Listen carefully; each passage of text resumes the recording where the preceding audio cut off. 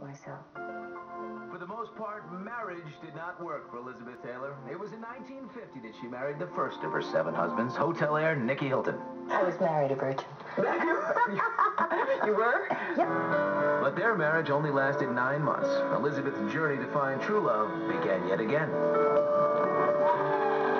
In 1952, Elizabeth married actor Michael Wilding.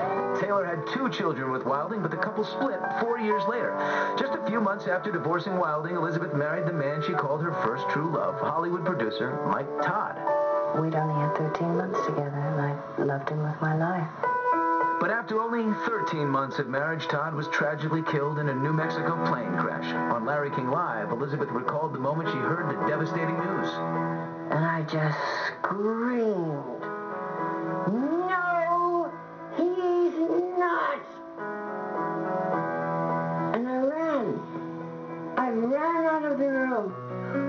While Todd's death, Elizabeth turned to his good friend, singer Eddie Fisher, for comfort.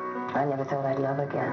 Their new relationship bloomed even though Fisher was already married to Debbie Reynolds.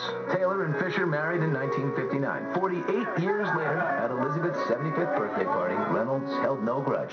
Whatever happened between Elizabeth and I many years ago has long passed. The union of Taylor and Fisher lasted five years. Elizabeth's affections for Fisher cooled considerably when she met the man who would become the second great love of her life, Richard Burton. I think having a fight, an out-and-out, outrageous, ridiculous fight is one of the greatest exercises in marital togetherness. Especially if, uh, especially if you have no really weak points. Oh, I see. You see, you do not attack the weak points. They're perfectly obvious and myself.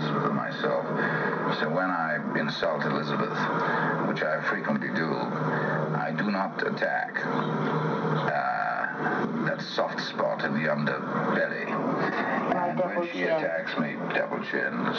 You bloody well have. Yeah, she's got a slightly fat belly. I never Well, use I've got his something. pock marks, you know. This 1970 60 Minutes interview said it all. Taylor and Burton, without a doubt the most dysfunctional marriage Hollywood has ever seen. They fought hard and they loved hard. And for the press, it was great theater. I wonder if uh, you've learned anything from Miss Taylor. Well, uh, when we close the doors at night,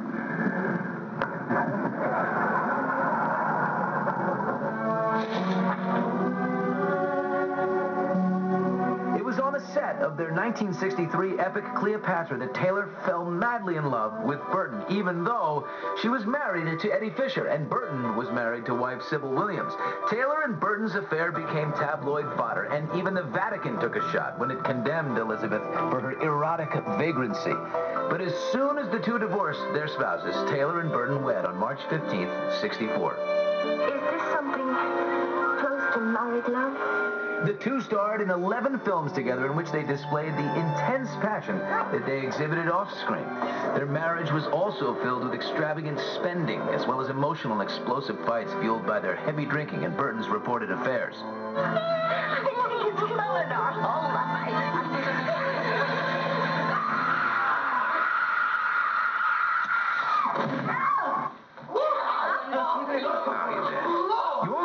only watch their 1966 film, Who's Afraid of Virginia Woolf, to see how highly charged these two could be with one another. So here I am, stuck with this swamp, this Go on, Martha. bog in the history department. Martha. Who's married to the president's Don't- daughter. All Who's expected right. to be Who's somebody, afraid of not Virginia just Woolf? a nobody. Virginia a Woolf. But their fiery marriage proved to be too much for Taylor, so she and Burton divorced in 1974. But just one year later, they were back at it again, but this time, the marriage lasted only nine months. I will put up with a lot. But when finally the curtain falls, I'll still be friends. Close even after divorce, the two reunited on stage in a 1983 Broadway production of Private Lives. Burton died from a sudden cerebral hemorrhage in 1984. In an interview one year later, Elizabeth's face lit up at the mere mention of his name. Oh, I have so many memories. But they're mine.